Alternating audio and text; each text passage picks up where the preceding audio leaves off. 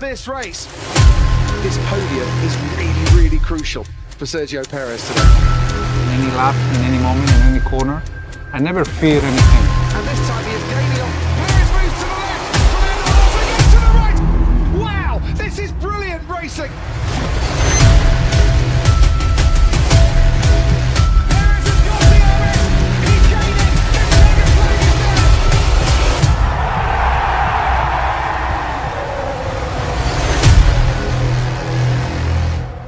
And one thing you can always guarantee Fernando Alonso never, ever gives up.